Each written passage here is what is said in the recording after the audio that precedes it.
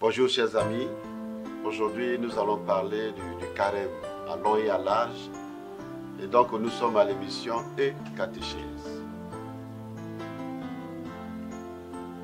Nous aurons deux définitions, sinon deux formules pour expliquer le carême. La première formule, le carême est le temps de préparation à la fête de Pâques, cœur de la foi chrétienne qui célèbre la résurrection du Christ. Et je vous donne la deuxième formule. On appelle carême la période de 40 jours, quadragésima, réservée à la préparation de Pâques et marquée par l'ultime préparation des catéchumènes qui doivent recevoir le baptême le jour de Pâques. Depuis le IVe siècle, donc, on commence à le constituer comme temps de pénitence et de renouvellement pour toute, pour toute l'Église avec la pratique du jeûne et de l'abstinence, conservée avec vigueur dans les églises d'Orient, la pratique pénitentielle du carême s'est assouplie en Occident, mais on continue à y observer un esprit de pénitence et de conversion. Spécifiquement, nous allons parler du carême 2014. Le carême commence le mercredi décembre du 5 mars, 5 mars 2014 et s'achèvera le samedi saint au soir, veille de Pâques, samedi 19 avril 2014. Le mercredi des cendres, premier jour du carême, est marqué par l'imposition des cendres.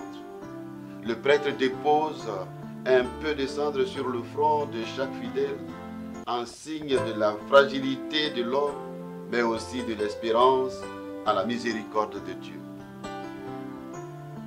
Tout en le marquant, le prêtre dit aux fidèles, convertissez-vous et croyez à la bonne nouvelle.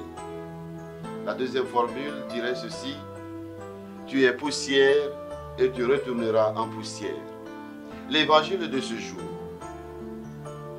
est un passage de Saint Matthieu, chapitre 6, versets 1 à 6 et 16 à 18 qui incite les fidèles à prier et à agir, non pas de manière orgueilleuse et ostentatoire, mais dans le secret de leur cœur. Quand tu fais l'aumône, que ta main droite, que ta main gauche ignore ce que donne ta main droite, afin que ton aumône reste dans le secret. Ton Père voit ce que tu fais dans le secret, Quand tu pries, retire-toi au fond de ta maison Ferme la porte et prie ton Père qui est présent dans le secret. Ton Père voit ce que tu fais dans le secret, il te le revaudra. Quand tu gênes, parfume-toi la tête et lave-toi le visage, ainsi ton jeûne ne sera pas connu des hommes, mais seulement du Père qui est présent dans le secret. Ton Père voit ce que tu fais dans le secret, il te le revaudra. La durée du carême, 40 jours sans compter les dimanches. Fait en particulier référence aux 40 années passées au désert par le peuple d'Israël entre sa sortie d'Égypte et son entrée en terre promise. Elle renvoie aussi aux 40 jours passés par le Christ au désert, Matthieu chapitre 4, versets 1 à 11, entre son baptême au Jourdain et le, début de sa vie publique, après avoir passé 40 jours et 40 nuits au désert. Ce chiffre de 40 symbolise le temps de préparation à de nouveaux commencements. Le carême, mes frères, temps de conversion repose sur la prière, la pénitence et le partage. La pénitence n'est pas une fin en soi, mais la recherche d'une plus grande disponibilité intérieure. Le partage peut prendre différentes formes, notamment celle du don. Oui, sont dispensés du jeûne les personnes de plus de 60 ans et les jeunes de moins de 18 ans accomplis et les femmes enceintes aussi. N'ignorons pas que aujourd'hui nous avons assez de nos chrétiens qui sont malades, ils peuvent être exemptés du jeûne. Couronnement de la préparation, la semaine sainte, dernière semaine de carême, qui commence avec le dimanche des rameaux, commémore la scène, la passion et la mort du Christ sur la croix. Le samedi saint au soir et le dimanche de Pâques, les chrétiens célèbrent la résurrection du Christ, notre Rédempteur. Abstinence. Oui, abstinence, un mot lourd et difficile à pratiquer et pourtant. On entend par abstinence la privation de viande qui est recommandée aux fidèles catholiques les vendredis qui sont inclus, inclus dans le temps du carême, en souvenir de la passion du Christ. La conférence des évêques de Côte d'Ivoire a précisé et étendu le sens de cette abstinence en souvenir de sa passion, la passion du Christ, en souhaitant que les fidèles manifestent cet esprit de pénitence par des actes concrets.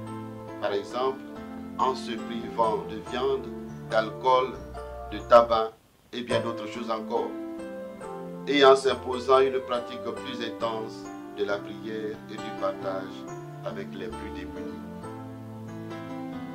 La passion, supporter, souffrir. Chacun a sa passion.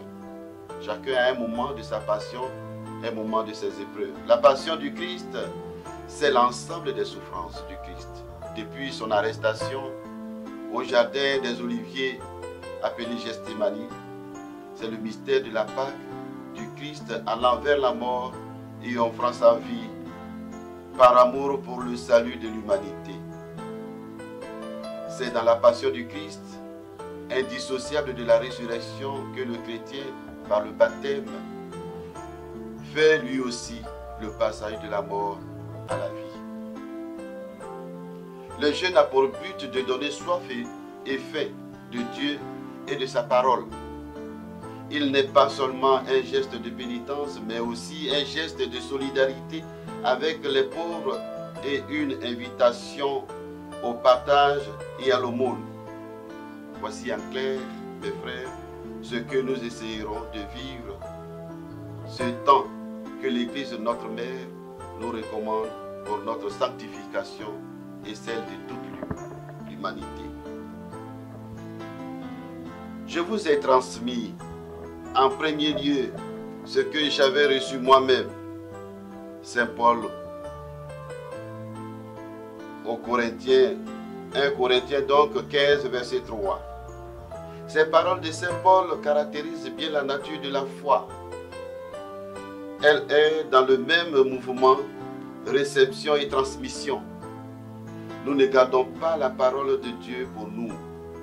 Elle est parole pour le monde et source de vie pour tous les hommes et femmes de tous les temps. D'où la place essentielle dans l'Église des structures de transmission et de la pédagogie de la foi, l'initiation chrétienne à la base de la catéchèse, ainsi que les différents ministères de l'Église sont au service de la parole de Dieu et de la bonne nouvelle évangélique. La foi ne se transmet pas d'abord comme un ensemble de consignes et de codes, mais comme un souffle de vie. Oui, mes frères, voici le moment favorable. Et il faut aussi que nous soyons favorables. Il nous est offert par l'Église. Soyons endurants, patients en tout. Évitons de faire le mal. La seule rivalité qui vaille, c'est l'amour de Dieu et de nos frères et sœurs.